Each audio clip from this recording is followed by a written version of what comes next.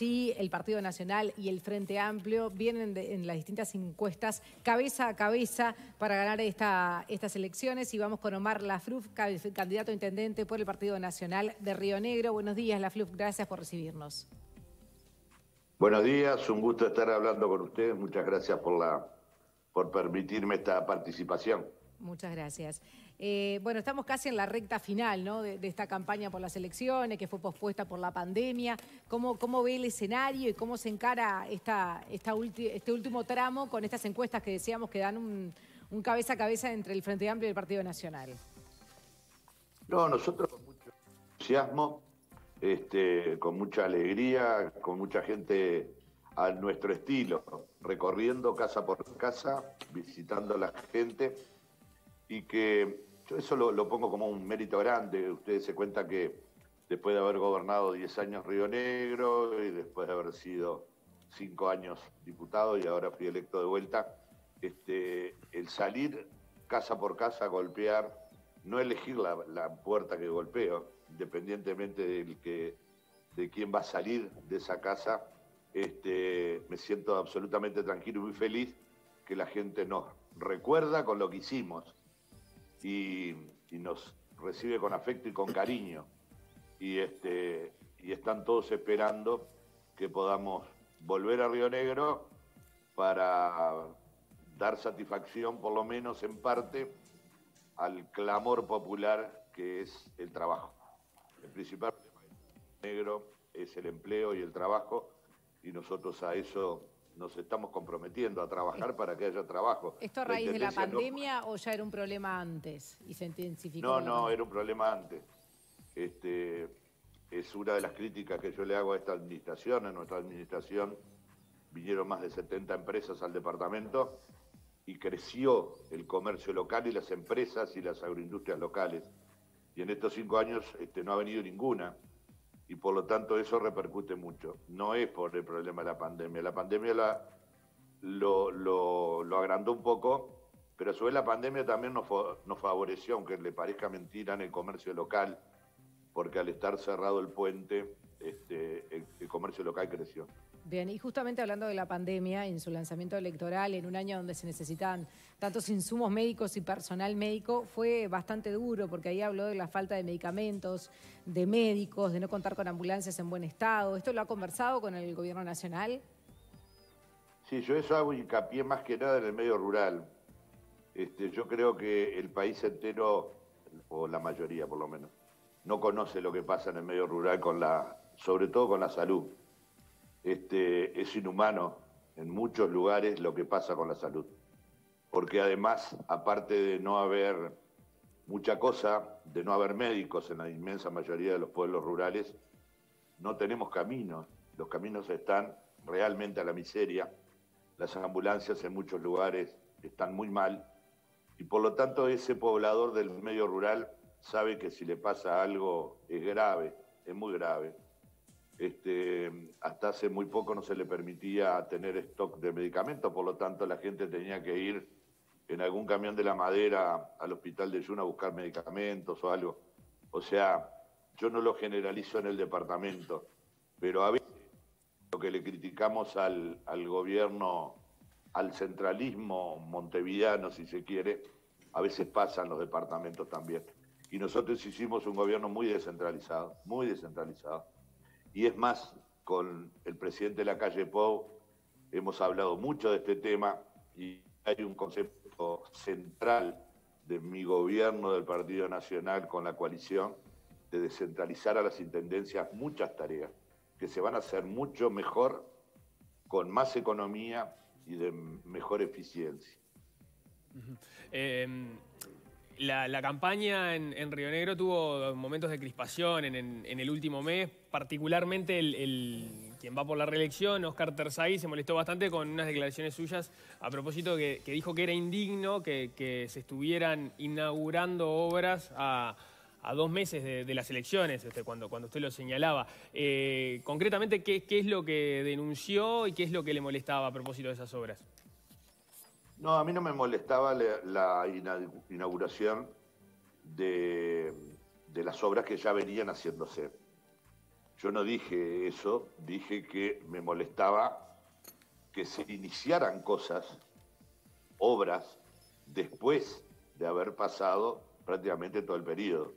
¿Por qué? Porque hoy, hoy, hoy, en el día de hoy, se están haciendo calles en muchos lugares del departamento que no se hicieron durante cinco años. Entonces, si no hubiese habido la pandemia, prácticamente este gobierno no hubiese inaugurado una sola obra. Las inauguraciones, las obras que se venían haciendo, está bien, hay que inaugurarlas si se terminaron, porque no es justo que la gente no tenga la obra. La calle tampoco protesto. Lo que sí digo, que pasamos cinco años comiendo polvo de tosca y ahora, un mes antes, se hace la calle.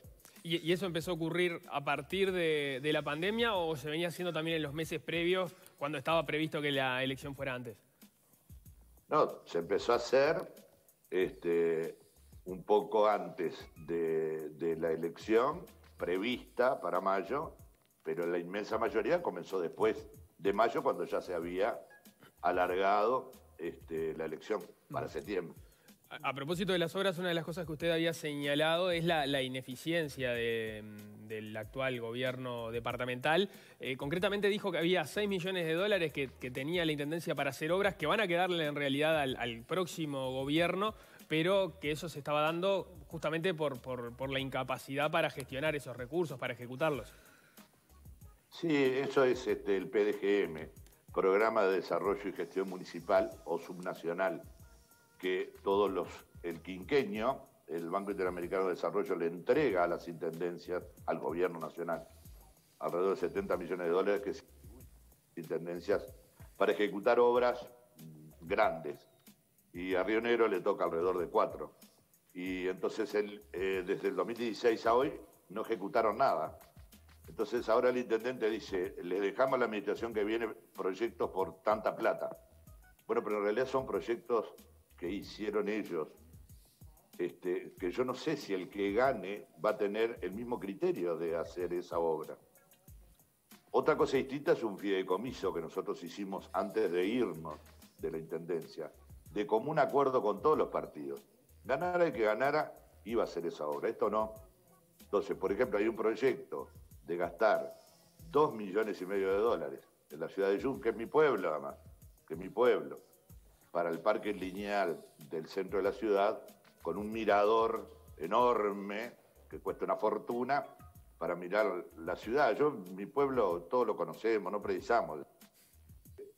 Ese malgasto es el que, es el que quiero evitar. Ese proyecto, en vez de hacer y gastar dos millones y medio de dólares, capaz que con un millón de dólares, pero dejamos precioso, Jun y lo otro lo usamos en un barrio que no tiene saneamiento, no tiene cordón, no tiene calle, no tiene nada. E, eso era mi... Y después lo otro que se ha gastado en consultorías realmente es asombroso. Buen día, La Fluf. Eh, del lado de, la coalición que hoy gobierna el Uruguay, eh, en las elecciones municipales han habido distintas este, soluciones, por llamarlo así. En Montevideo, por ejemplo, la coalición va toda junta detrás de un solo candidato. En otros departamentos han habido acuerdos parciales. Algunos de los partidos de la coalición van juntos. En Río Negro hay candidatos del Partido Nacional, del Partido Colorado, de Cabildo Abierto. ¿No se buscó una alianza? ¿No se pudo? ¿Qué fue lo que pasó? Sí, yo este, siempre fui de la idea de que, bueno, buen día Leo, un gusto de verte compartimos la historia de la Facultad Veterinaria. Y eh, sí, yo pretendía que se hiciera la coalición a nivel departamental. Eh, lamentablemente no lo logramos. Sí logramos un grupo grande, que es Acuerdo Victoria, que fueron eh, militantes de Cabildo Abierto, donde está el que fue candidato de Cabildo Abierto a la Diputación.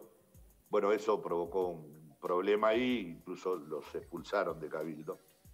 Y después, dentro del Partido Colorado, tenemos más afinidad con un grupo de votantes del doctor Sanguinetti que nos están apoyando. Y bueno, dentro del Partido Nacional también tengo que decir que soy candidato yo, pero también es este candidato Pablo de que es otro compañero del, Partido Nacional.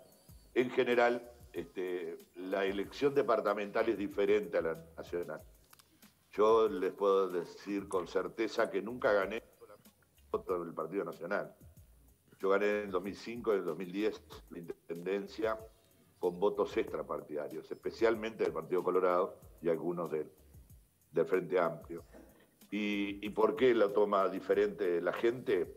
Porque la gente en lo departamental hay un núcleo duro que vota al partido, sea el candidato que sea, pero hay otro que elige el candidato que le parece que va a hacer más cosas por su comunidad, por su pueblo, por su barrio, por su lugar.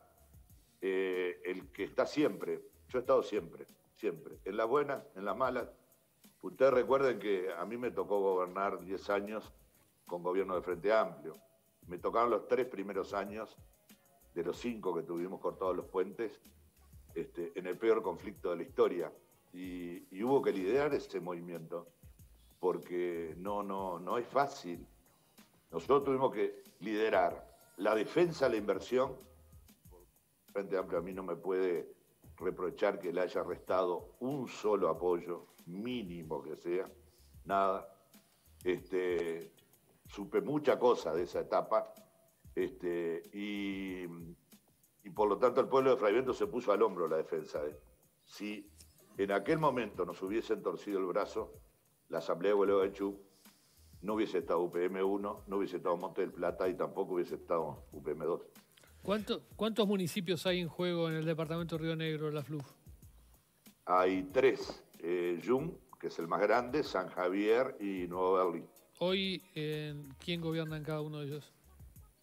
Bueno, hoy las tres alcaldías son nuestras. Uh -huh.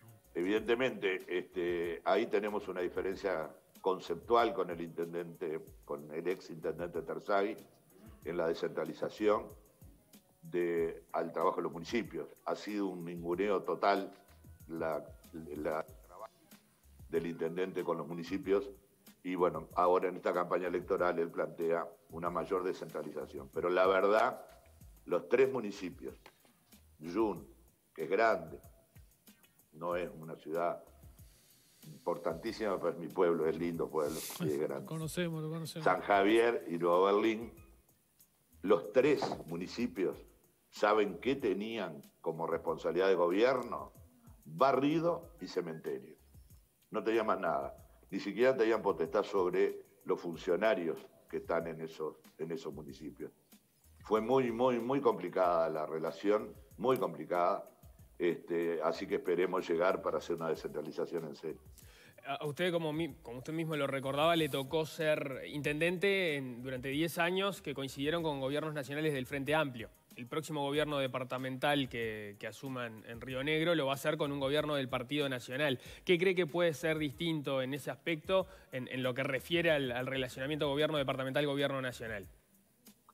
Absolutamente todo porque yo tuve la oportunidad de participar en el programa de gobierno después de la elección de octubre, cuando lo, la calle Pau nos llamó a todos a que hiciéramos los aportes. Yo fui por, en ese momento por Alianza Nacional y por la Patria, yo pertenezco a Por la Patria.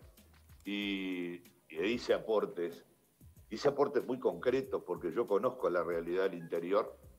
Entonces, este trabajo conjunto, gobierno nacional e intendencias, que el presidente de la calle Pau lo ha tomado como bandera. La descentralización, que la ley de descentralización más linda fue la que hizo Wilson Ferreira Aldunate antes de morirse, que no era esta ley, como tampoco era el, el, fundamento de la Corporación Nacional para el Desarrollo cuando Wilson la creó. Pero un gobierno del Partido Nacional, descentralizador, que está decidido a implementar la actividad, gobierno nacional y gobierno departamental que ese complemento le va a permitir ahorrar al presidente, a Luis, muchísimos millones de pesos. Yo siempre le decía, las policlínicas, las escuelas rurales, las ambulancias, tienen que estar gestionadas por las intendencias. No se pueden gestionar de Montevideo. El costo que vas a tener, le decía al presidente Mujica, usted presidente, péguese a las intendencias. Usted va a hacer dos baños en una escuela rural, va a llevar una empresa a Montevideo, no va a haber casa ni para para los trabajadores, para alquilar para los trabajadores, no van a comprar un ladrillo en el pueblo, y si se pega a las intendencias se lo van a hacer por 5 mil dólares, con un oficial que va a ir de Fraiventos o de Jun y tres o cuatro obreros de la conducción del propio pueblo. Entonces, ese complemento, Lo que está diciendo el presidente de la calle Pau del Río Uruguay, ese concepto de hidrovía del Río Uruguay, tengamos el Río Uruguay para hacer una competencia de remo. No estamos usando el Río Uruguay. Tenemos el puerto de Fraiventos en un punto este, geográfico tremendo donde se produce el 60% de los granos y no podemos salir porque no tenemos calado. Entonces, esa dinámica y dinamizar lo que es el interior del, país, trabajar no contra Montevideo. Pero la FLUS, darle, darle calado al puerto no es obra de la dirección de la Administración Nacional de Puertos, no de la Intendencia, o, corresponde a la Intendencia. Sí, Leo, lo que pasa que eh, eh, el intendente tiene que ejercer el liderazgo. Yo, soy un convencido cuando la gente va y dice, ¿qué tengo que hacer en el... Este, porque tengo un problema eh, con, la policlínica. Entonces, hay un problema grave con la policlínica. Yo no le puedo decir al vecino, llama al ministro. No lo van a llamar, no lo van a atender. Llama hace tampoco. Es el intendente que tiene que ejercer el, liderazgo. El intendente tiene que trabajar con el Ministerio de Transporte, con la ANP. Ahora, si no se va a hacer, hay que decirle a la gente, hace 15 años que venimos con el tema del puerto, 15 años. Y los portuarios trabajan tres días y paran el resto. Entonces, ese tema es un tema muy importante. Entonces, tengo eh, no derecho, pero sí la ilusión de poder gobernar con un gobierno encabezado por mi partido. Omar Lafluz, muchísimas gracias por esta entrevista. No, muchas gracias a ustedes. Ha sido un placer. Hasta luego, buena jornada. Muchas gracias. Tenemos que actualizar hasta ahora los datos del tiempo.